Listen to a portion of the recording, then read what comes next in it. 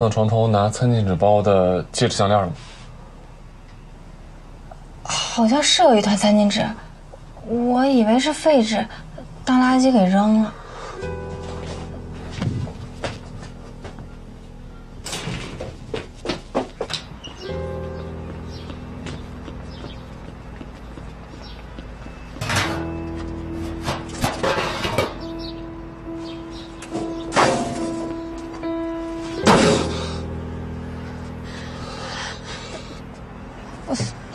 对不起，我以为是你用过的餐巾纸，不知道里面有这么重要的东西。戒指和项链是什么牌子的？我赔给你。赔？订婚戒指你怎么赔？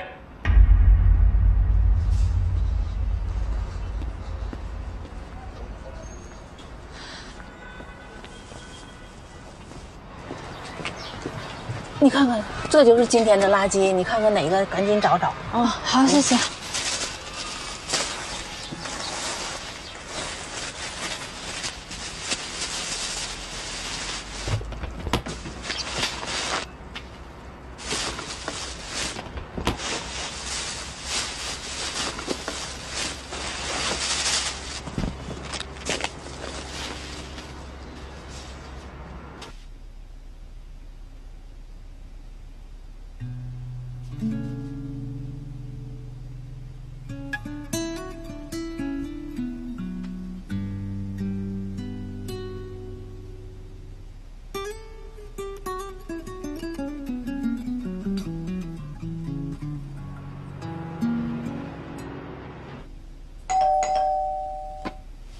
来了来了，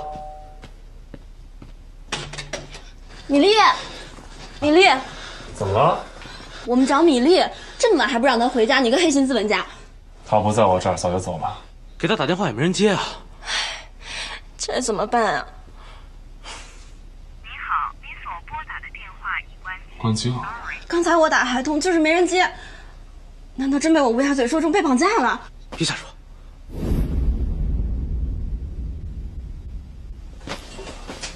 快走快走走！米粒儿，米粒儿，米粒儿，米粒儿，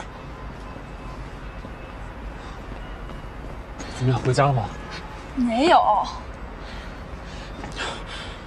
沈总没找到，到底怎么回事啊？你把他怎么了？这大冬天的，不穿外套就出门了。他把我放项链的餐巾纸当垃圾扔了，我就骂他。这么重要的东西你瞎放，拿餐巾纸包项链，我告诉你，不给你丢了都对不起首饰盒。你到底怎么骂的他？不会骂的怀疑人生、想不开、投了护城河吧？冉冉，别说了，先找到米粒再说。我警告你啊，米粒要是有个三长两短，我绝对饶不了你。月黑杀人夜，风高放火天，这大半夜的，就算他会跆拳道，也架不住她是个女孩啊！够了！你要不想去找我自己去。电话联系。好。米粒儿，怎么办呀？走吧，我们去那边找找。走。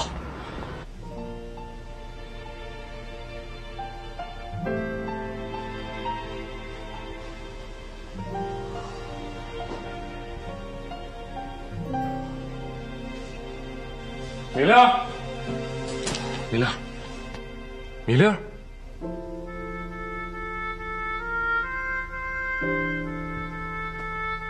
你这一整天跑哪儿去了？电话也不接，不知道大家担心你吗？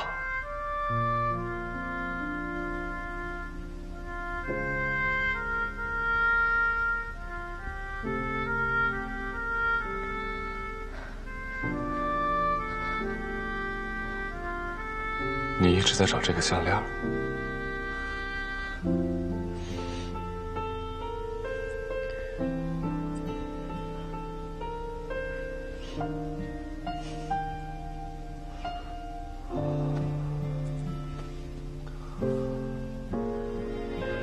傻瓜。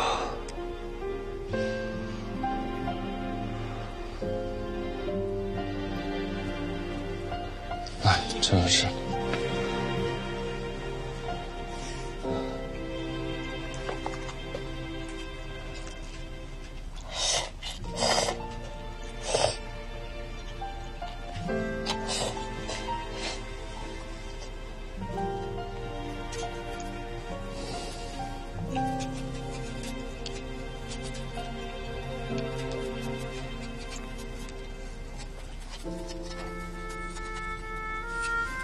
那个戒指，那是我跟我未婚妻的定情信物。你们分手了？他去世了。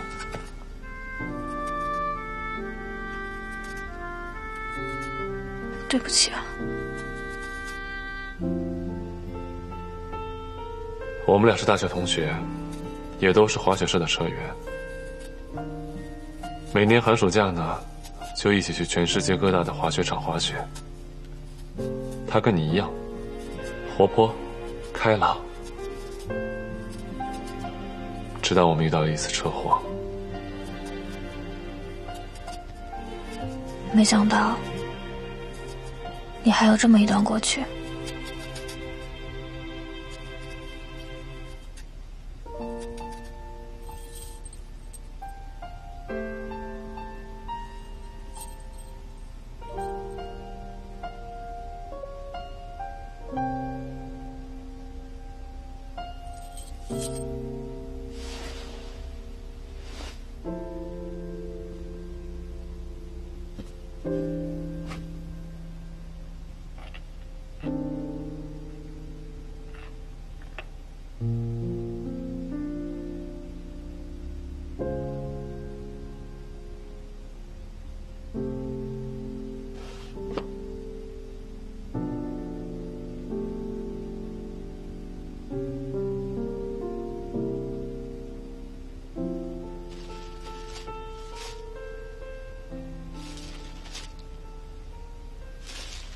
米粒，你在那发什么呆呢？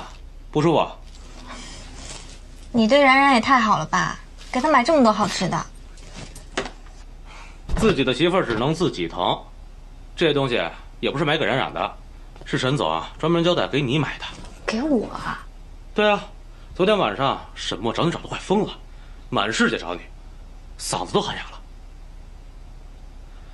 那行，沈总交代的任务我是完成了，那你好好休息，我先回去了。嗯，谢了。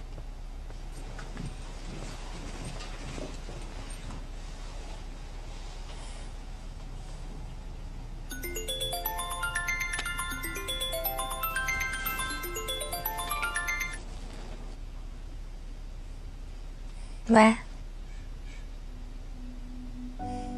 你到雪场了？挺好的。